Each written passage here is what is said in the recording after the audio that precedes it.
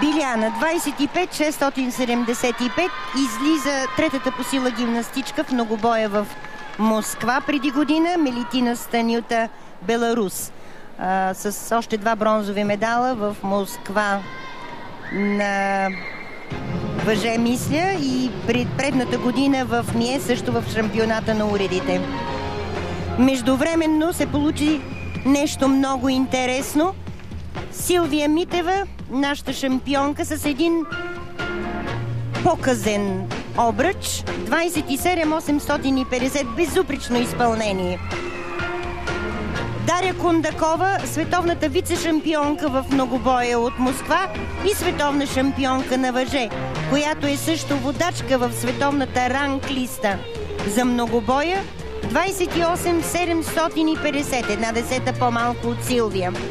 Предстои още едно много, много интересно състезание до края на, на този ден.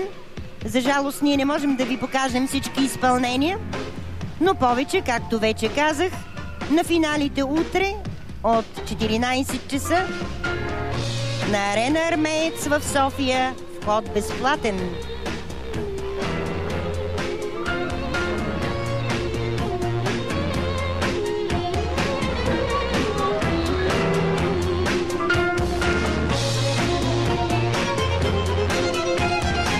Bugreș Guinness.